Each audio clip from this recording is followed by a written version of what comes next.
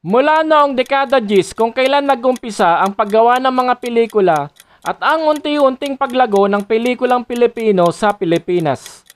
Mula sa pinakaunang pelikulang naipalabas noong 1919 at hanggang sa kasalukuyan ay hindi na mabibilang kung gaano karami ang mga pelikula na nagawa at naipalabas.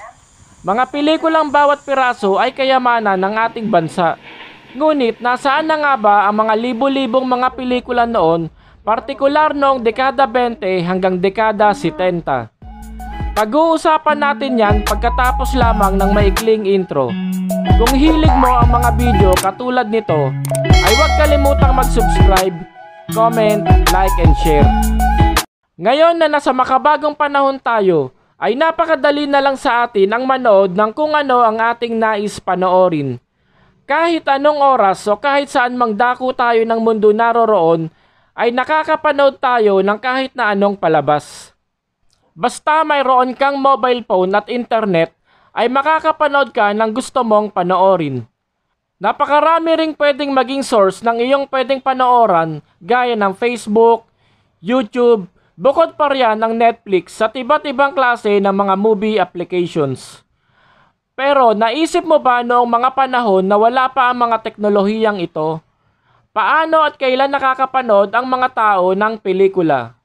Noon kasi kapag may pelikulang ipapalabas, ay aantayin mo muna itong mai-release ng mga production company bago mapanood sa mga sinehan. Kumbaga, mag-aantay ka muna ng ilang linggo. Kapag naman napanood mo na at gusto mo ulit panoorin dahil nagandahan ka sa pelikulang iyong pinanood, ay magbabayad ka ulit sa sinehan para manood. Ngunit kung tapos na itong ipalabas sa sinehan ay wala na pag-asa na mapanood itong muli. Nang magkaroon ng telebisyon sa ating bansa ay nabuhayan ng mga Pilipino dahil nagkaroon ng pagkakataon na muling mapanood ang mga pelikula. Sino ba naman ang hindi mamamanga sa ganda at taglay na kasaysayan ng bawat pelikula? Ang pelikulang pinasimulan ni Jose Nepomuceno na ipinagpatuloy ng mga sumunod na taong may masidhing damdamin sa pelikula. Nabanggit ko kanina na nasaan na nga ba ang karamihan sa mga pelikula noong dekada 20 hanggang dekada 70. Pero bago ko sagutin yan, bakit sa panahon lang ng dekada 20 hanggang dekada 70 lang? Ito ay dahil sa pangapanahon na ito na wala pang maayos na imbakan o pwedeng pagtaguan ng mga pelikulang ito. Mga panahon na hindi pa uso ang teknolohiya para mapanatili at maitago ang bawat pelikula. Hindi katulad ng dekada 80 hanggang sa kasalukuyan ay naging mas maingat na ang mga sumunod na film production company kung paano nila may pepreserba at may tatago ng mabuti ang kanilang mga nagawang pelikula. Isang halimbawa nito ay ang ABS-CBN Archives na kung saan nasa pangangalaga nila ang karamihan sa mga klasikong pelikula noon. Nasa pangangalaga din nila ang mga pelikula ni The King FPJ at Comedy King Dolphy. Balik tayo sa katanungan na nasaan na nga ba ang karamihan sa mga pelikula noong dekada 20 hanggang dekada 70. Magbibigay ako ng ilang posibleng dahilan kung bakit nawawala na ang mga klasikong pelikula natin Una ay ang pagsiklab ng ikalawang digmaang pandaigdig na nagwasak at tumupok sa halos 80% ng mga movie prints noong 1919 hanggang 1945. Ito yung mga pelikulang mula sa LBN Pictures at Sampaguita Pictures na naglaho na at di na naisalba. Sa panahon din na ito ay gumagawa rin ng pelikula si Fernando Poe Sr. na mula sa kanyang sariling film production company na Polaris Pictures. Ang pangalawa sa dahilan ng pagkawala ng mga klasikong pelikula noon ay dahil sa mga nangyaring sunog.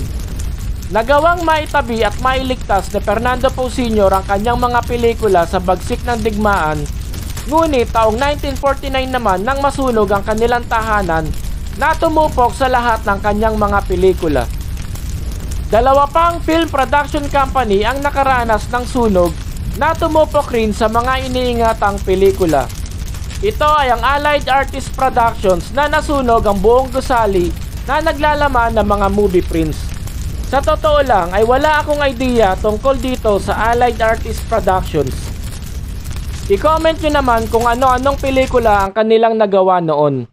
Ang pangalawa ay ang Sampaguita Pictures na tinupok ng malaking sunog ang kanilang film studio. Sa nangyaring sunog na ito, ay halos lahat ng movie prints ay naging abo at tuluyan na ngang hindi mapapakinabangan. Sa pagkasunog ng mga movie prints na ito ay ang syaring paglaho ng mga pelikulang kayamanan ng ating bansa na sana ay mapapanood pa natin at ng mga susunod pang bagong henerasyon. Ang pangatlong posibleng dahilan sa pagkawala ng mga klasikong pelikula noon ay maaaring naitatabi o nasa mabuting pag-iingat ng mga anak o kamag-anak ng mga film productions company noon. Maaaring ayaw na nilang maaksaya o masayang ang mga pelikula o maaaring pinakaiingatan nila na nagsisilbing isang alaala na lang noon. Itinuturing nilang pinakamahalagang bagay ng kanilang pamilya mula pa noong ginagawa pa lamang ang mga pelikulang ito pero sana kung totoo man na may ilang mga tao o pamilya na nag-aalaga sa mga klasikong pelikula, ay kung maaari ay ipahiram ito sa mga film productions company natin ngayon upang mapanood pa natin ang mga ito. Mayroon pa namang mga klasikong pelikula na mangilan-ngilan ay mapapanood na mula pa noong dekada 40 hanggang dekada 60. Magbibigay ako ng ilan sa mga pelikulang ito Katulad ng Batangueña noong 1953 na pinagbidahan nila Nida Blanca at Jaime de la Rosa. Virginia noong 1949 na pinagbidahan nila Armando Goyena, Tessie Quintana at Rosa Rosal.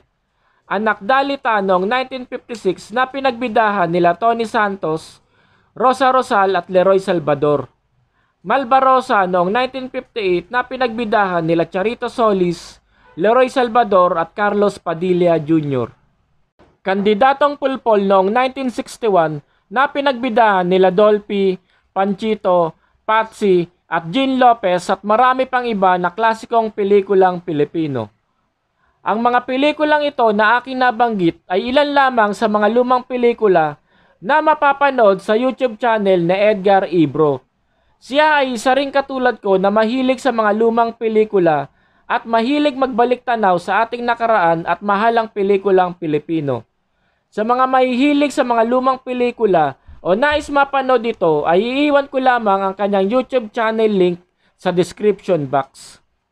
Ang mga napapanood pa nating mga lumang pelikula noon sa mga social media ay iilan lamang sa napakaraming pelikula noon na nawala na.